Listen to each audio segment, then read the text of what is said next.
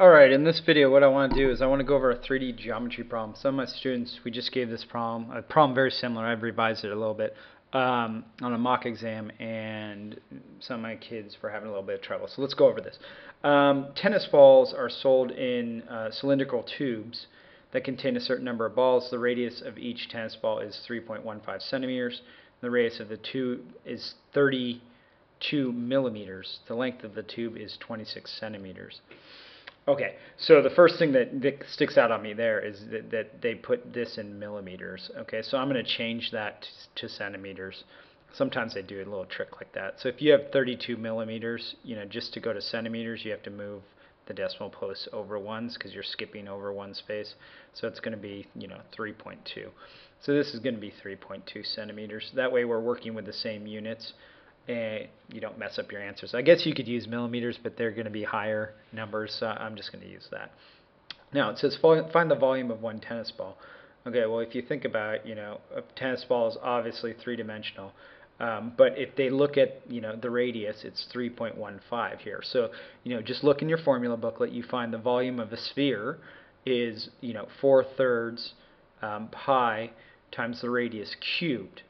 Okay, so I'm going to just do volume equals um, 4 thirds pi times 3.15 cubed. And all you have to do is enter that into your calculator.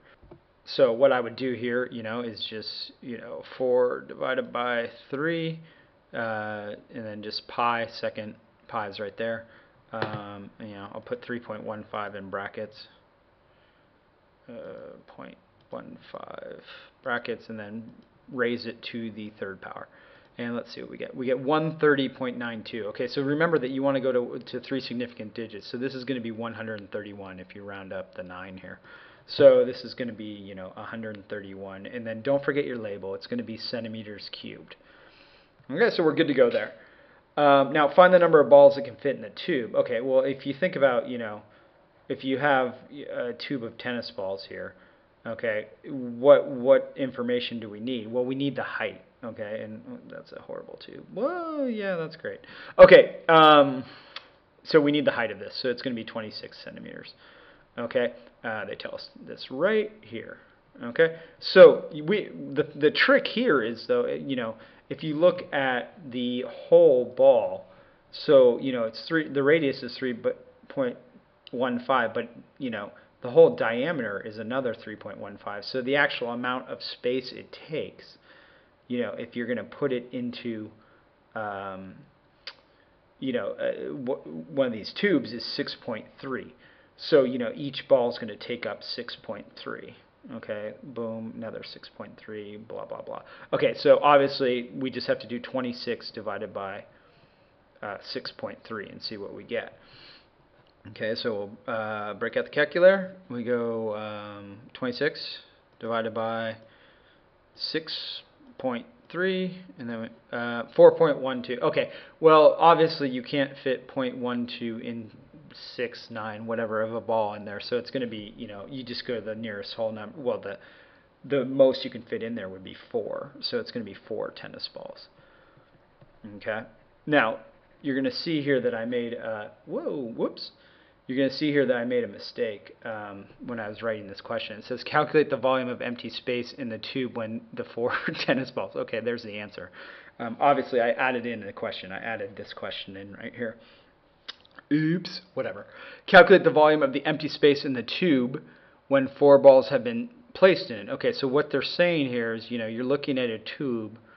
You know, this drawing is probably going to be absolutely horrendous. Okay, but it has, you know, um, uh, let's see here, know, one, two, ooh, wow, I'm making these way too big, two, three, four tennis balls in it, okay, um, you get the picture, see all this empty space, that's what they want us to find, okay, so the first thing I'm going to do is I'm going to find the volume of the tennis balls here, so we've already found the volume of one, so if there's four of them, we can just do 131 you know, times 4, which is 4, carry, carry the 1. So that would be 524 centimeters squared, or uh, its volume, right, cubed. Okay, so now we just need to find the volume of the whole thing. Well, you know, let's look at um, at the radius here. Now be careful because the radius here is is 3.2 centimeters. So you know I'm going to go 3.2 here. Now all we have to do is look up our formula. It's volume equals pi times the radius squared times the height, okay, for a cylinder. So you just do volume equals pi times, you know, 3.2 squared times 26. Okay, so let's uh, bust that out. And I'll bring out my calculator. Move, eh, cancel. Oops. Okay, so let's let's move this over here so we can see it. Okay, so let's see. So second um, pi, and then 3.2 squared, and then times uh, 26. So times 26. Boom. Okay, so 836.4. Okay, so this is going to be, you know, 836.4 centimeters cubed. Okay, so now to find the empty space, all we have to do is subtract, you know, so you do 836.4 minus 524, you know, line up the decimal. You do that on your calculator, but I'm just going to do it by hand. 2, 1, 3. Now, remember, you got to put it to three significant figures. Now, this answer is going to be 312, ooh, not 321, 312 centimeters cubed. Now, if you didn't round the first answer and you use this, which would have been like 130 what was it, 130.9 or something, you would have gotten 312.5, which would rounded to 313. That's acceptable. So either 312 or 313 are acceptable in this answer, um, as per the mark scheme. So anyway, um, I've seen a lot of questions like this where you know you have to use some of the formulas, but you, they kind of make you think a bit, little bit. So my advice here is maybe you know just draw a picture. I mean, hopefully it's better than mine. This picture is is just just atrocious. I mean, but if you've seen any of my videos, you know that's not my strong suit. So anyway, I will leave you with one more thought for the day. And I came across a video on the internet. Now, this has been around for a long time called First World Problems. Now, we all know this, you know. People, you listen to people complain about their Facebook status or about their coffee not being good or whatever. Um, I, I found, uh, I came across one on the internet that I thought I would share with you. John here says, having an iPhone 5 is awkward when everyone around you has a 4. Those are big problems, man. Those are big problems. And, and I feel bad for you, John. I'm sorry. I'm sorry. All right, with that sad note, and John, I'm sorry, man. I'm sorry. Um, we, I will leave you. Hopefully this helped you out, and let me know if you want me to make you a certain video or something. Um, and there's my email. So whatever, maybe someone wanted me to uh, make them a video. Anyway, uh, take care. Talk to you later. Bye bye.